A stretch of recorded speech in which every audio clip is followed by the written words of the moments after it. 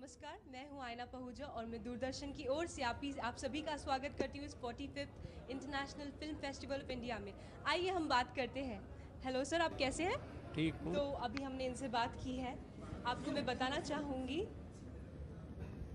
हमने सीएम जी से बात की हुई है और मुझे इफ़ी का कॉन्सेप्ट बहुत पसंद आया क्योंकि पूरी दुनिया में हम फ्रेंडशिप बनाए रखते हैं। और कोऑपरेशन सीखते हैं। मैं भी यहाँ पर आके बहुत ज़्यादा खुश फील कर रही हूँ क्योंकि ये जो जगह है इसमें मुझे कितनी सारी चीज़ें पता चली है। तो अब आ, हम यहाँ पर गोवा में बहुत सारे मज़े कर रहे हैं।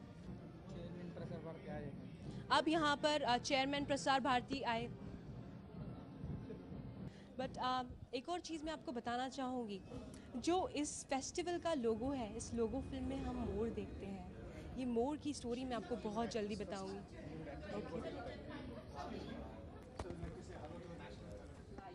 hello Hello. How are you doing I'm good. Um, we would like to know something about this festival. Would you like to share your views with us? Uh, I don't know yet. I just arrived. So, do you like watching movies? Of course, of course. Hello. Uh, how are you doing? I'm hot. Um, I would like to ask you how, how is your experience here in Goa? Well, I'm been here for 30 years. I have a house here for 30 years. Telling you that you know Goa is going to become a very very significant part of this world. All around the world, Goa will be known for its festivals. I mean. I just feel obliged to be a part of it. Like I don't know much about the films and stuff in depth. I got to know. So if I can get to know, then I'm sure anybody else can get to know as well. People are coming here. We have the defense minister out here, and I would really love to, you know, interview them and know something about him. I'm sure आपको भी बहुत कुछ चीज़ें मिलेंगी सुनने के लिए और मुझे तो definitely मैं तो enlighten हो रही हूँ हर second यहाँ enlighten हो रही हूँ. Indian film industry, well, it's the largest film industry in the entire world. Goa is a place where you come to unwind yourself. Okay, so we have Governor of India right here, and we would like to share something with you, uh, maybe his views. So let's have a look. Hello, how are you doing? I'm fine.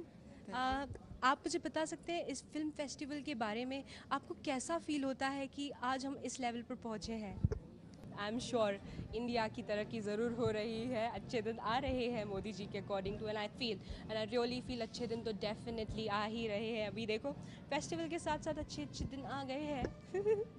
कि हम खुश हो रहे हैं। Goa is the best time right now because I am enjoying a lot and now it's your turn to enjoy मैं आपको um, बहुत सारी चीज़ों के बारे में और बताना चाहूँगी।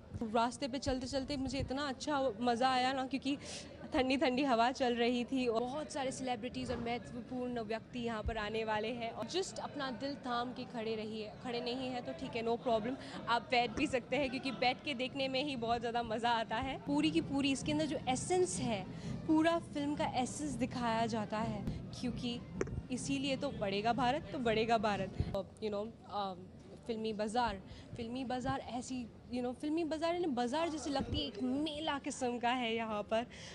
गोवा के चर्चेस यहाँ पे एंटर करते ही इतना अच्छा फील होता है। इसके मंदिर are very much more famous आप वहाँ पे आराम से जा सकते हैं you can enjoy the moment he is in front of you आप इनलाइटन होना शुरू हो जाते हो। My knowledge is something that I carry along with me everywhere I go